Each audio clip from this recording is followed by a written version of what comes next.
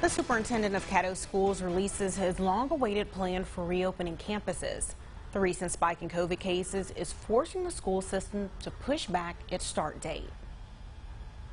Caddo schools will reopen two weeks later than scheduled, with August 24th set for the new start date. allows families additional time to evaluate instructional models available and to obtain needed resources from the district. Elementary schools will resume in the traditional form with social distancing modifications.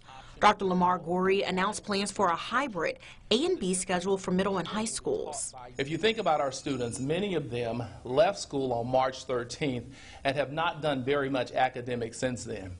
It's very important that as we look at the plan, that we create opportunities to provide remediation so that students, we make up those instructional minutes that have been lost to the situation created by this pandemic.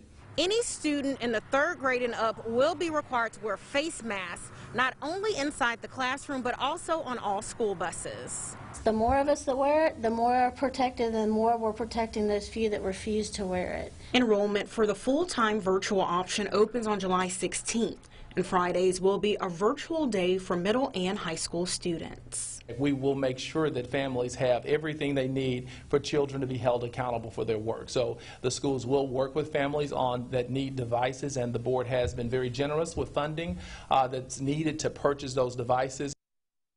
Goree adds temperature checks will be conducted daily. Buses will run their regular schedules and routes. There's also a plan to ensure internet access for families who do not currently have it.